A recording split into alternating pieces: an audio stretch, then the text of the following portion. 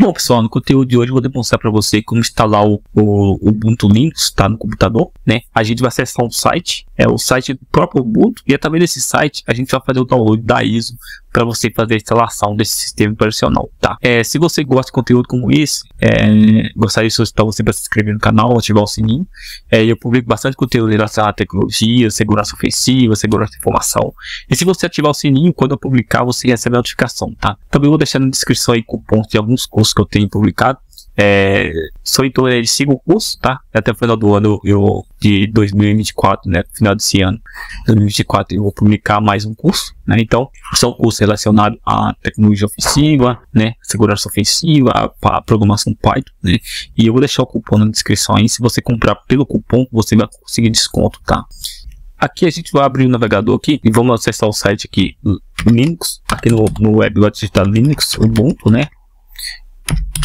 E vai acessar o site que é ubuntu.com, tá? Por que ubuntu.com? Porque é o site do próprio fabricante, onde vai ter as ISOs disponíveis para você fazer o download, tá? Então aqui, ó, você vai ver aqui várias opções aqui no site, né? E você vai aqui na opção de, de produtos, né? Aqui em produtos, é, você pode baixar o, a ISO do, do sistema operacional tanto para desktop, para servidor, é, servidores, né? Ubuntu Server, né? E tem esse desktop aqui, o desktop é voltado mais para o usuário comum, né, para a estação de trabalho, e já o outro de é, servidor que é voltado mais para você implantar um projeto, por exemplo, um website, implantar um sistema, né? Então é para você usar aí no servidor web, né, para negócio, né? Então eu vou clicar aqui download no desktop, né? Porque eu como sou usuário comum, eu vou demonstrar para você como é instalar esse desktop. A vantagem de usar o desktop porque ele vai ter interface gráfica. Né? Então, o, o, o server ele vai ter apenas linha de comando através do terminal para você acessar ele, colocar as aplicações para rodar, mas você pode instalar também a interface gráfica dele, né? Mas o desktop não é um sistema operacional mais leve, é, que já vem com a interface gráfica, né? Para você é, acessar esse sistema operacional, tá? Então vou clicar aqui em download Ubuntu, né? E aqui tem aqui, ó, o uh, download 24.04.1 LTS, né? Contém aqui 5,8 GB. Né? Aqui tem a, a, a, a próxima update, é isso da próximo atualizado para o próximo é, para o, o mês aí de junho, julho de 2025, né?